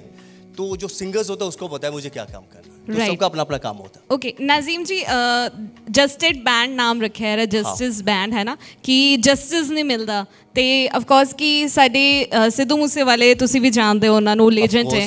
ਰਾਈਟ ਉਹਨਾਂ ਬਾਰੇ ਮੈਂ ਤੁਹਾਡੇ ਤੋਂ ਵੀ ਪੁੱਛਣਾ ਚਾਹਨੀ ਹਾਂ ਕਿ ਉਹਨਾਂ ਨੂੰ ਅੱਜ ਤੱਕ ਜਸਟਿਸ ਨਹੀਂ ਮਿਲਿਆ ਤੇ ਇਸ ਲਈ ਮੇਰੇ ਦਿਮਾਗ 'ਚ ਉਹ ਵਰਡ ਆਇਆ ਹੈ ਕਿ ਉਹਨਾਂ ਦੇ ਵੀ ਗਾਣੇ ਬਹੁਤ ਵਾਰੀ ਚੋਰੀ ਹੋਏ ਨੇ ਉਹਨਾਂ ਦੀ ਵੀ ਐਲਬਮਸ ਚੋਰੀ ਹੋਈਆਂ ਨੇ ਉਹੀ ਰਿਲੇਟਡ ਕਿਤੇ ਨਾ ਕਿਤੇ ਮੈਨੂੰ ਮੂਵੀ 'ਚ ਕਿਤੇ ਨਾ ਕਿਤੇ ਇੱਕ ਅ, 10 ਜਾਂ 20% ਉਹਨਾਂ ਦਾ ਵੀ ਲੱਗਦਾ ਹੈ ਕਿ ਹਿੱਸੇਦਾਰ ਨੇ ਕੁਝ ਕਹਿਣਾ ਚਾਹੁੰਦੇ ਹੋ ਉਹਦੇ ਬਾਰੇ? ਸਭ ਤੋਂ ਪਹਿਲਾਂ ਤਾਂ ਮੈਨੂੰ ਲੱਗਦਾ ਕਿ ਇੱਥੇ ਜਿੰਨੇ ਕੁ ਵੀ ਲੋਕ ਨੇ, ਜਿੰਨੇ ਵੀ ਸਾਰੇ ਜਾਂ ਮੀਡੀਆ ਵਾਲੇ ਨੇ ਜਾਂ ਸਾਡੇ ਆਡੀਅנס ਜਿੰਨੀ ਵੀ ਬੈਠੀ ਇੱਥੇ, ਕੋਈ ਵੀ ਐਸਾ ਇੱਕ ਇਨਸਾਨ ਨਹੀਂ ਹੋਊਗਾ ਜਿਹੜਾ ਸਿੱਧੂ ਮੂਸੇਵਾਲਾ ਦਾ ਫੈਨ ਨਹੀਂ ਹੋਊਗਾ, ਹੈ ਨਾ? ਤੇ ਰਹੀ ਜਸਟਿਸ ਦੀ ਗੱਲ, ਆਪਾਂ ਸਾਰੇ ਅਪੀਲ ਕਰ ਰਹੇ ਹਾਂ ਮਿਲ ਕੇ, ਸਾਰੇ ਚਾਹੁੰਦੇ ਹਾਂ ਕਿ ਜਸਟਿਸ ਮਿਲੇ, ਹੈ ਨਾ? ਕਿਉਂਕਿ ਇੱਕ ਐਸਾ ਸਟਾਰ ਖਤਮ ਹੋਇਆ ਆਪਣੇ ਇਸ ਪੰਜਾਬ ਦੇ ਵਿੱਚੋਂ ਜਿਹੜਾ ਆਉਣ ਆਉਣ ਵਾਲੇ ਮੈਨੂੰ ਲੱਗਦਾ ਕਿ ਆਉਣ ਵਾਲੇ 10 20 ਸਾਲ ਤੱਕ ਜਾਂ 50 ਸਾਲ ਤੱਕ ਤਾਂ ਕੋਈ ਹੋ ਨਹੀਂ ਸਕਦਾ ਮਾਈ ਦਾ ਲਾਲ ਪੈਦਾ। ਕਿਉਂਕਿ ਉਹ ਬੰਦਾ ਜੋ ਗਾ ਗਿਆ, ਜੋ ਕਰ ਗਿਆ ਆਈ ਥਿੰਕ ਮੈਨੂੰ ਹੀ ਲੱਗਦਾ। ਬਾਕੀ ਸਾਡੇ ਇੱਥੇ ਲੈਜੈਂਡ ਬੈਠੇ ਨੇ ਸਰ ਹੰਸ ਸਰ ਹੰਸਰਾਜ ਜੀ। ਤੇ ਉਹਨਾਂ ਦੇ ਨਾਲ ਇਹ ਬਹੁਤ ਵੱਡੀ ਗੱਲ ਹੈ ਕਿ ਨਾਲ ਉਹਨਾਂ ਦੇ ਬੇਟੇ ਬੈਠੇ ਨੇ। ਇਹ ਬਹੁਤ ਵੱਡੀ ਗੱਲ ਹੁੰਦੀ ਹੈ ਕਿ ਜਦੋਂ ਇੱਕ ਬੌਂਡ ਹੁੰਦਾ ਜਦ ਨਾਲ ਬੈਠਾ ਹੋਵੇ ਕੋਈ, ਤੇ ਇੱਕ ਫੀਲ ਮਿਲਦਾ। ਹੈ। ਤੇ ਜਿਹੜੀ ਗੱਲ ਜਸਟਿਸ ਦੀ ਗੱਲ ਹੈ ਸਰ ਸਰਕਾਰ ਚ ਨੇ ਤੇ ਸਰਕਾਰ ਹੀ ਦੱਸ ਸਕਦੀ ਹੈ ਤਾਂ ਹੁਣ। ਅਸੀਂ ਬਹੁਤ ਛੋਟੇ ਹਾਂ ਕਿਉਂਕਿ ਸਰ ਬੈਠੇ ਨੇ ਉਸ ਸਾਹਮਣੇ ਅਸੀਂ ਕੁਝ ਵੀ ਨਹੀਂ ਹੈਗੇ। ਹੰਸਰਾਜ ਹੰਸ ਜੀ ਜੋ ਮੈਂ ਤੁਹਾਨੂੰ ਪੁੱਛਣਾ ਚਾਹਨੀ ਹਾਂ ਕਿਉਂਕਿ ਇੱਕ ਨਾ ਡਰ ਪੈਦਾ ਹੋ ਗਿਆ ਸੀ ਪੰਜਾਬ ਦੇ ਵਿੱਚ ਇਸ ਤੋਂ ਬਾਅਦ ਕਿ ਪਤਾ ਨਹੀਂ ਅਸੀਂ ਬਾਹਰ ਜ਼ਿਆਦਾ ਨਾਮ ਫੇਮ ਨਾ ਕਮਾ ਲਈਏ ਜੋ ਫੇਮ ਕਮਾ ਲਿਆ ਸਾਡੇ ਨਾਲ ਇਦਾਂ ਨਾ ਹੋ ਜਾਏ ਧਮਕੀ ਨਾ ਆ ਜਾਏ ਕੁਝ ਨਾ ਹੋ ਜਾਏ। ਤੁਹਾਨੂੰ ਕਦੀ ਲੱਗਾ ਯੁਵਰਾਜ ਲਈ? ਹਾਂਜੀ ਅਹਲੇ ਔਲਾਦ ਜਿਹੜੇ ਧੀਆਂ ਪੁੱਤਰਾਂ ਵਾਲੇ ਲੋਕ ਹੈ ਜਦੋਂ ਸਿੱਧੂ ਮੂਸੇਵਾਲੇ ਸਾਹਿਬ ਦਾ ਵਾਕਿਆ ਆਪਾਂ ਯਾਦ ਕਰਦੇ ਹਾਂ ਸ- ਤੇ ਰਿਲੇਟ ਕਰਕੇ ਹੀ ਦੇਖਦੇ ਹਾਂ ਕਿ ਸਿੰਗਿੰਗ ਦੇ ਹਵਾਲੇ ਨਾਲ ਤਾਂ ਨੁਕਸਾਨ ਹੋਇਆ 뮤직 ਦੇ ਹਵਾਲੇ ਨਾਲ ਹੋਇਆ। ਇੱਕ ਸਰੂ ਵਰਗਾ ਪੁੱਤ ਨਹੀਂ ਵਾਪਸ ਆ ਸਕਦਾ। ਜ਼ਿੰਦਾ ਲਾਸ਼ਾਂ ਨੇ ਉਹ ਜਿੰਨੀ ਦੇਰ ਰਹਿਣਗੇ। ਔਰ ਸਾਰੇ ਜਹਾਨ ਦਾ ਹੀ ਨੁਕਸਾਨ ਹੋਇਆ। ਅਸੀਂ ਓਵਰਆਲ ਪੂਰੇ ਬਹੁਤ ਸਖਤ ਦੌਰ ਚੋਂ ਗੁਜ਼ਰ ਰਹੇ ਲੋਕ ਹਾਂ। ਖਾਸ ਤੌਰ ਤੇ ਪੰਜਾਬ। ਸੰਗੀਤ ਵਿੱਚ, ਸਾਹਿਤ ਵਿੱਚ, ਫਿਲਮਾਂ ਵਿੱਚ, ਥੀਏਟਰ ਵਿੱਚ ਕਦੀ ਵੀ ਇਸ ਤਰ੍ਹਾਂ ਦਾ ਮਾਹੌਲ ਨਹੀਂ ਸੀ ਹੁੰਦਾ। ਪਿਆਰ ਪਿਆਰ ਤੇ ਸਿਰਫ ਪਿਆਰ ਹੁੰਦਾ ਸੀ। ਲੇਕਿਨ ਇਸ ਦੌਰ ਇਹ ਵੀ ਦੌਰ ਦੇਖਣਾ ਸੀ। ਤਕਲੀਫ ਦੇ ਤਾਂ ਹੈ, ਲੇਕਿਨ ਰੱਬ ਕਿਰਪਾ ਇਹ ਪੰਜਾਬ ਵਸਦਾ ਗੁਰਾਂ ਦੇ ਨਾਂ ਤੇ ਗੁਰੂ ਹੀ ਕਿਰਪਾ ਕਰੇ, ਸਾਨੂੰ ਸਮਤ ਦੇਵੇ ਕਿ ਅਸੀਂ ਪਿਆਰ ਦਾ ਦਾਮਨ ਨਾ ਛੱਡੀਏ। ਨਫ਼ਰਤ ਜਿਹੜੀ ਹੈ ਉਹ ਆਪਣੇ ਆਪ ਦਾ ਵੀ ਨੁਕਸਾਨ ਕਰਦੀ ਸਾਰੇ ਮਾਸ਼ਰੇ ਦਾ ਨੁਕਸਾਨ ਕਰਦੀ ਹੈ। ਮੁਹੱਬਤ ਕਰਕੇ ਬੰਦਾ ਖੁਦ ਖੁਦਾ ਹੋ ਸਕਦਾ। ਸੋ ਸਾਨੂੰ ਤਾਂ ਮੁਹੱਬਤ ਹੀ ਸਿਖਾਈ ਗਈ ਸੀ। ਸ਼ਾਇਦ ਅਸੀਂ ਆਪਣੇ ਬਜ਼ੁਰਗਾਂ ਦਾ ਗੁਰੂਆਂ ਪੀਰਾਂ ਦਾ ਤੇ ਫਲਸਫਾ ਤਲੀਮ ਭੁੱਲ ਗਏ ਹਾਂ। ਅ, ਓਮ ਜੀ ਪ੍ਰੋਡਕਸ਼ਨ ਤੋਂ ਮੁਨੀਸ਼ ਸਾਨੀ ਜੀ ਸਤਿ ਸ਼੍ਰੀ ਅਕਾਲ ਬਹੁਤ ਬਹੁਤ ਸਵਾਗਤ ਹੈ। ਆਫ ਕੋਰਸ ਹਮੇਸ਼ਾ ਅਸੀਂ ਇਹ ਜਾਨਣਾ ਚਾਹੁੰਦੇ ਹਾਂ ਕਿ ਕਿੱਥੇ ਕਿੱਥੇ ਡਿਸਟ੍ਰੀਬਿਊਟ ਕੀਤੀ ਜਾ ਰਹੀ ਹੈ ਫਿਲਮ ਪਹਿਲਾਂ ਪਲੀਜ਼ ਉਹ ਦੱਸ ਦਿਓ। ਸਤਿ ਸ਼੍ਰੀ ਅਕਾਲ ਜੀ ਸਾਰਿਆਂ ਨੂੰ। ਪੂਰੀ ਮੁੰਡਾ ਰੌਕਸਟਾਰ ਦੀ ਟੀਮ ਵੱਲੋਂ ਤੁਹਾਡਾ ਸਾਰਿਆਂ ਦਾ ਵੈਲਕਮ ਸੋ ਆਪਾਂ ਜਿਸ ਤਰ੍ਹਾਂ ਦੇਖਦੇ ਜੀ, Punjabi cinema day by day grow ਕਰ ਰਿਹਾ ਹੈ। ਨਵੀਆਂ ਕਹਾਣੀਆਂ, ਨਵੇਂ ਡਾਇਰੈਕਟਰ ਨਵਾਂ ਟੈਲੈਂਟ ਇਹ ਬਹੁਤ ਰਿਕੁਆਇਰਮੈਂਟ ਹੈ ਸਾਡੀ ਇੰਡਸਟਰੀ ਦੀ। ਬਿਕੋਜ਼ ਬਹੁਤ ਸਾਰੀਆਂ ਫਿਲਮਸ ਇਸ ਕਰਕੇ ਹੀ ਬੰਦੀਆਂ ਨੇ ਜਦੋਂ ਨਵੇਂ ਪ੍ਰੋਡਿਊਸਰਸ ਨਵਾਂ ਟੈਲੈਂਟ ਔਰ ਨਵੀਆਂ ਚੀਜ਼ਾਂ ਇੰਡਸਟਰੀ 'ਚ ਆਉਂਦੀਆਂ ਨੇ। ਸੋ ਮੁੰਡਾ ਰੌਕਸਟਾਰ 'ਚ ਮੈਨੂੰ ਲੱਗਦਾ ਬਹੁਤ ਸਾਰੀਆਂ ਉਹ ਚੀਜ਼ਾਂ ਅੰਡਰ ਇੱਕ ਹੀ ਫਿਲਮਸ ਅਸੀਂ ਦੇਖ ਸਕਦੇ ਹਾਂ। ਇੱਕ ਨਵਾਂ ਪ੍ਰੋਡਕਸ਼ਨ ਹਾਊਸ ਹੈ, ਨਵੇਂ ਪ੍ਰੋਡਿਊਸਰਸ ਨੇ ਡਾਇਰੈਕਟਰਸ ਦੀ ਫਰਸਟ ਪੰਜਾਬੀ ਫਿਲਮ ਹੈ।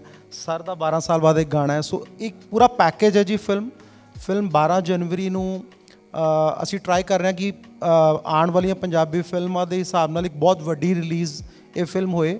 ਸੋ ਰਿਕੁਐਸਟ ਹੈ ਜੀ ਮੀਡੀਆ ਨੂੰ ਪਲੀਜ਼ ਟ੍ਰੇਲਰ ਤੁਸੀਂ ਸਾਰਿਆਂ ਨੇ ਦੇਖਿਆ ਜਿੰਨਾ ਵੀ ਅਸੀਂ ਫਿਲਮ ਨੂੰ, ਦੇ ਮੈਸੇਜ ਨੂੰ ਆਡੀਅנס ਤੱਕ ਸਪਰੈਡ ਕਰ ਸਕਦੇ ਹਾਂ ਸੋ ਉਹ ਪਲੀਜ਼ ਅਸੀਂ ਸਾਰਿਆਂ ਨੇ ਰਲ ਕੇ ਫਿਲਮ ਬਣਾ ਲਈ ਹੈ so now it's your duty ਕਿ ਫਿਲਮ ਲੋਕਾਂ ਦੇ ਘਰ ਘਰ 'ਚ ਪਹੁੰਚਾਓ thank you so much Thank you so much. Thank you so much. Uh, over to you, media. Any question by you?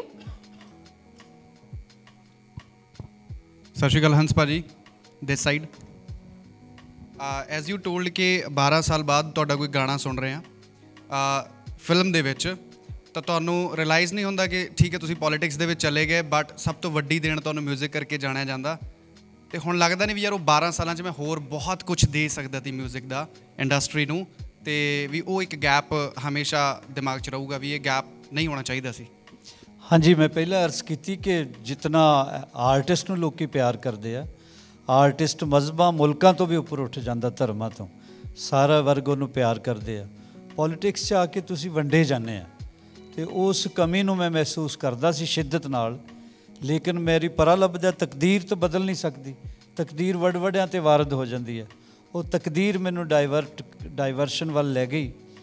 ਮੈਂ, ਲੇਕਿਨ ਵਾਪਸ, ਮੈਂ ਸੰਗੀਤ ਵੱਲ ਜਦੋਂ ਹੁਣ ਜੁੜਿਆ, ਤੇ ਮੈਨੂੰ ਯਾਦ ਆਇਆ ਕਿ ਸਭ ਤੋਂ ਖੂਬਸੂਰਤ, ਸਭ ਤੋਂ ਸ਼ਾਂਤਮਈ ਅਗਰ ਜ਼ਿੰਦਗੀ ਜੀਣੀ ਆ, ਤੇ ਕਹਿੰਦੇ ਅਗਰ ਫੂਲੋਂ ਕੋ ਜ਼ਬਾਨ ਹੋਤੀ तो वो भी सात सुरों की मौसीकी में बात करते ਤੇ ਕੀ ਬਾਤ ਹੈ ਇਹ ਜੋ ਕਾਇਨਾਤ ਆ ਪਲੈਨਟ ਬਣਿਆ ਇਹ ਲਾਈਟ ਐਂਡ ਸਾਊਂਡ ਦਾ ਹੀ ਖੇਲ ਹੈ ਸੰਗੀਤ ਸਭ ਤੋਂ ਉੱਤਮ ਹੈ ਸੋ ਮੈਂ ਰਿਗਰੈਟ ਤਾਂ ਨਹੀਂ ਕਰਦਾ ਲੇਕਿਨ ਉਹਦਾ ਤਕਲੀਫ 'ਚ ਚਲੇ ਜਾਣਾ ਕਿ ਯਾਰ ਉਹ ਲਾਈਨ ਜਿਹੜੀ ਇਹ ਲਾਈਨ ਹੈ ਇਹਦਾ ਕਰਕੇ ਮੈਂ ਹਰ ਚੀਜ਼ ਅਚੀਵ ਕੀਤੀ ਮੈਨੂੰ ਇੱਧਰ ਧਿਆਨ ਦੇਣਾ ਚਾਹੀਦਾ ਥੈਂਕ ਯੂ ਸਰ ਇੱਕ ਸਵਾਲ ਨਾਜ਼ਮ ਸਰ ਤੋਂ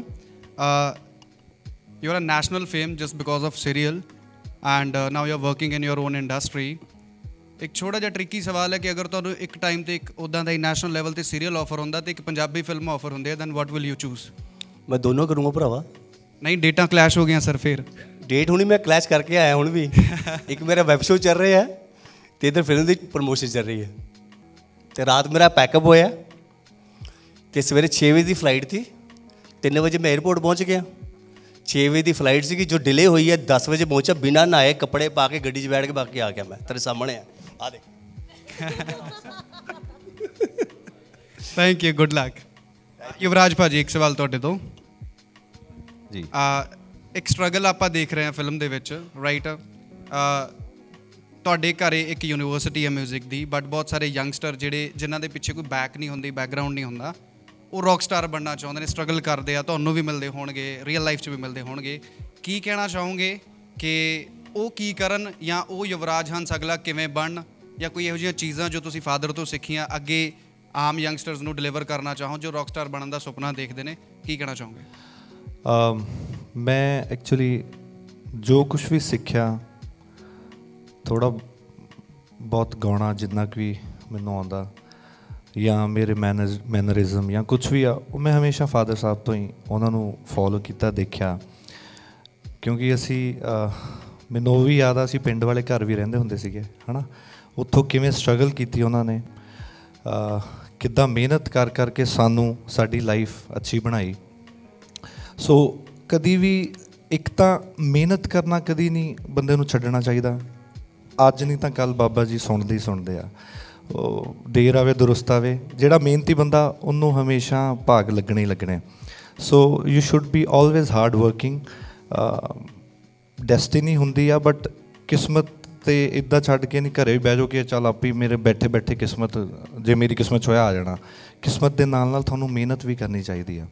ਸੋ ਮੇਰਾ ਬਡਿੰਗ ਆਰਟਿਸਟਸ ਨੂੰ ਜਾਂ ਜਿਹੜੇ ਵੀ ਇਸ ਫੀਲਡ ਨੂੰ ਅਪਣਾਉਣਾ ਚਾਹੁੰਦੇ, ਮੇਰੀ ਇਹੀ ਰਿਕੁਐਸਟ ਆ ਔਰ ਉਹਨਾਂ ਨੂੰ ਇਹੀ ਮੈਸੇਜ ਆ ਕਿ ਤੁਸੀਂ ਮਿਹਨਤ ਕਰਨੀ ਨਾ ਛੱਡੋ।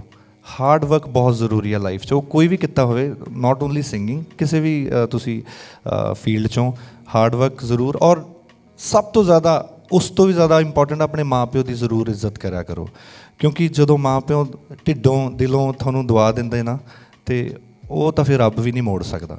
ਸੋ ਆਪਣੇ ਮਾਪਿਓ ਦੀ ਸਭ ਤੋਂ ਜ਼ਿਆਦਾ ਰਿਸਪੈਕਟ ਉੱਥੋਂ ਤੁਹਾਨੂੰ ਅੱਛੀਆਂ ਦੁਆਵਾਂ ਅੱਛੀ ਪੋਜ਼ਿਟਿਵਿਟੀ ਨਾਲ ਉਹਨਾਂ ਨੇ ਭੇਜਿਆ ਕਦੀ ਵੀ ਨਹੀਂ ਤੁਹਾਨੂੰ ਕੋਈ ਹਰਾ ਸਕਦਾ ਲਾਈਫ 'ਚ।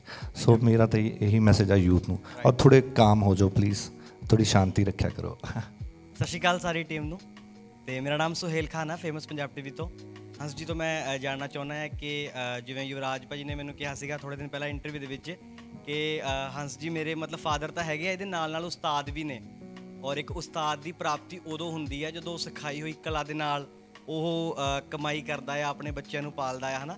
ਸੋ ਮੈਂ ਜਾਣਨਾ ਚਾਹੁੰਦਾ ਹਾਂ ਵੀ ਜਦੋਂ ਪਹਿਲੀ ਕਮਾਈ ਤੁਹਾਡੇ ਤੱਕ ਆਈ ਸੀਗੀ ਭਾਜੀ ਦੀ ਤਾਂ ਤੁਹਾਡੇ ਲਈ ਕੀ ਕੁਝ ਸਪੈਸ਼ਲ ਲੈ ਕੇ ਆਏ ਸੀ ਮਤਲਬ ਖਰੀਦ ਕੇ? ਔਰ ਤੁਸੀਂ ਕੀ ਕੀ ਐਕਸਪੈਕਟ ਕਰਦੇ ਹੋ ਕਿ ਇੱਕ ਤੁਹਾਡਾ ਬੇਟਾ ਔਰ ਤੁਹਾਡਾ ਇੱਕ ਚੇਲਾ ਕੀ ਕੀ ਤੁਹਾਡੇ ਲਈ ਕਰੇ? ਮਤਲਬ ਉਹ ਜੋ ਇਨਕੰਪਲੀਟ ਆ ਜਾਂ ਕੰਪਲੀਟ ਹੋ ਚੁੱਕਿਆ ਆ? ਗੱਲ ਇਹ ਆ ਕਿ ਕਹਿੰਦੇ ਛੱਲਾ ਨੌ ਨੌ ਖੇਵੇ ਤੇ ਪੁੱਤਰ ਮਿੱਠੜੇ ਮੇਵੇ। ਕੀ ਬਾਤ। ਤੇ ਸੋਚ ਸਮਝ ਕੇ ਪਲਾਨ ਕਰਕੇ ਸਾਡੇ ਰਿਵਾਜ ਨਹੀਂ ਹੈ। ਅਸੀਂ ਦੇਸੀ ਬੰਦੇ ਆ ਮਿਹਨਤ ਸਾਨੂੰ ਹੱਡਾਂ 'ਚ ਵਿਰਸੇ 'ਚ ਮਿਲੀ ਹੋਈ ਹੈ। ਤੇ ਮਿਹਨਤ ਕਰਨੀ ਇਹਨਾਂ ਨੇ ਦੇਖੋ ਆਪਣੇ ਪਿਓ ਨੂੰ ਗੁਰੂ ਸਮਝਣਾ ਬੜਾ ਮੁਸ਼ਕਲ ਹੈ। ਹਿਸਟਰੀ ਨੂੰ ਟ੍ਰੇਸ ਕਰੋ ਤੇ ਭਾਈਆ ਭਾਈਏ ਨੂੰ ਗੁਰੂ ਕੌਣ ਸਮਝਦਾ? ਲੇਕਿਨ ਇਹ ਦੋ ਮੇਰੇ ਬੇਟੇ ਆ। ਇਹਨਾਂ ਤੋਂ ਵੱਡੇ ਨਵਰਾਜ ਹੰਸ ਹੈ। ਇਹ ਛੋਟੇ ਯੁਵਰਾਜ ਹੰਸ ਜੀ ਆ। ਜਦੋਂ ਪਹਿਲੇ ਮੁੰਡੇ ਦੀ ਸ਼ਾਦੀ ਹੋਈ ਤੇ ਪਹਿਲੀ ਲੋਹੜੀ ਤੇ ਮੇਰੀ ਨੂੰਹ ਨੇ ਫਰਮਾਇਸ਼ ਕੀਤੀ। ਕਹਿੰਦੀ ਡੈਡੀ ਜੀ ਇੱਕ ਚੀਜ਼ ਤੁਹਾਡੇ ਤੋਂ ਮੰਗਣੀ। ਮੈਂ ਕਿਹਾ ਦਲੇਰ ਮਹਿੰਦੀ ਸਾਹਿਬ ਦੀ ਬੇਟੀ ਹੈ ਕੋਈ ਮਰਸਡੀ ਮੁਰਸਡੀ ਮੰਗੂ? ਤੁਸੀਂ ਹੈਰਾਨ ਹੋਵੋਗੇ ਸੰਗ ਦੇ ਸੰਗ ਦੇ ਡਰਦੇ ਡਰਦੇ। ਡਰ ਸਿਰਫ ਅਦਬ ਹੁੰਦਾ ਹੋਰ ਕੋਈ ਮੈਂ ਕੋਈ ਐਸਾ ਫਸੀ ਜਿਹਾ ਬੰਦਾ ਨਹੀਂ। ਉਹ ਇੱਜ਼ਤ ਹੀ ਪਿਆਰ ਹੀ ਇੰਨਾ ਕਰਦੀਆਂ। ਮੇਰੀਆਂ ਧੀਆਂ ਨੇ ਉਹ ਨੋਹਾਂ ਨਹੀਂ ਮੇਰੀਆਂ ਬੇਟੀਆਂ। ਇਹਨਾਂ ਦੇ ਘਰੋਂ ਮਾਨਸੀ ਜੀ, ਅਜੀਤ ਕੌਰ, ਮੇਰੀ ਮਾਂ ਦਾ ਨਾਂ ਵੀ ਹੈ ਤੇ ਮੇਰੀ ਨੂੰਹ ਦਾ ਨਾਂ ਵੀ ਹੈ। ਅਜੀਤ ਕੌਰ, ਮੇਰੀ ਮਾਤਾ ਜੀ ਦਾ ਨਾਂ ਉਹਦਾ ਤੇ ਕਹਿਣ ਲੱਗੀ, ਇੱਕ ਮੰਗ ਮੰਗ ਆ ਆ ਤੁਹਾਡਾ ਮੁੰਡਾ ਤੇ ਤੁਹਾਡੇ ਤੋਂ ਡਰਦਾ ਰਹਿੰਦਾ, ਪੁੱਛ, ਕਰਦਾ ਨਹੀਂ। ਇਹ ਜਦੋਂ ਦੀ ਇਹਨੇ ਹੋਸ਼ ਸੰਭਾਲੀ ਹੈ, ਇਹ ਕਹਿੰਦਾ, ਮੈਂ ਆਪਣੇ ਪਿਓ ਨਾਲ ਗੁਰ ਧਾਰਨਾ ਕਰਨੀ ਆ, ਰਸਮ ਕਰਨੀ। ਮੈਂ ਰੋਣ ਲੱਗ ਪਿਆ, ਮੈਂ ਕਿਹਾ, ਬੇਟਾ, ਪਿਓ ਨੂੰ ਗੁਰੂ ਨਹੀਂ ਕੋਈ ਮੰਨਦਾ, ਪਿਓ ਨੂੰ ਪਿਓ ਹੀ ਮੰਨਦਾ। ਤੇਰੀ ਲਾ ਇਹ ਜਿਹੜੀ ਸੋਚ ਬੜੀ ਅਜ਼ੀਮ ਹੈ। ਫਿਰ ਇਹ ਦੋਨੇ ਬੱਚੇ ਮੇਰੇ ਸ਼ਾਗਿਰਦ ਹੋਏ ਬਕਾਇਦਾ ਰਸਮ ਹੋਈ। ਉਸਤਾਦ ਸ਼ਾਗਿਰਦ ਦਾ ਰਿਸ਼ਤਾ ਪਿਓ ਤੋਂ ਵੀ ਵੱਡਾ ਹੁੰਦਾ ਔਰ ਇਹਨਾਂ ਨੇ ਉਹ ਸਾਬਤ ਕੀਤਾ। ਮੈਂ ਮੈਨੂੰ ਹੁਣ ਤਾਂ ਜਿਹੜਾ ਵੀ ਫਿਲਮਾਂ 'ਚ ਹੀਰੋ ਆਉਂਦਾ ਇਹਨਾਂ ਦੀ ਉਮਰ ਦੀ ਹੈ ਮੈਨੂੰ ਸਾਰੇ ਆਪਣੇ ਬੇਟੇ ਲੱਗਦੇ ਤੇ ਮੈਂ ਸਾਰਿਆਂ ਲਈ ਦੁਆ ਕਰਦਾ। ਜਿੰਨੇ ਵੀ ਮੁੰਡੇ ਕੁੜੀਆਂ ਇਹ ਮੇਰੀ ਧੀ ਬੈਠੀ ਸਮਝੋ ਅ, ਅਦਿੱਤੀ ਔਰ ਬਾਕੀ ਸਾਰੇ ਮੇਰੇ ਮੁੰਡੇ ਹੀ ਆ। ਤੇ ਜਿੰਨੀਆਂ ਦੁਆਵਾਂ ਇਹਨਾਂ ਲਈ ਨਿਕਲਦੀਆਂ ਢਿੱਡੋਂ ਸਾਰਿਆਂ ਲਈ ਮੈਂ ਰਹਿਣਾ ਬਸ ਇੱਕ ਮੈਂ ਦੁਆ ਕਰਦਾ ਯਾਰ ਪੁੱਤ, ਆ ਜਿਹੜੇ ਪਸਤੌਲਾਂ ਪਸਤੂਲਾਂ ਦੀਆਂ ਗੱਲਾਂ ਨਾ ਕਰੋ। ਆਪਾਂ ਰਵਾਬ ਵਜਾਉਣ ਵਾਲੇ ਦੇ ਚੇਲੇ ਆ, ਰਵਾਬ ਸੁਣਨ ਵਾਲੇ ਦੇ। ਆਪਾਂ ਉਹ ਆ ਜਿਹਦਾ ਜਗਤ ਗੁਰੂ ਗੁਰੂ ਨਾਨਕ ਦੇਵ ਮਹਾਰਾਜ ਇਸ ਧਰਤੀ ਤੇ ਆਏ।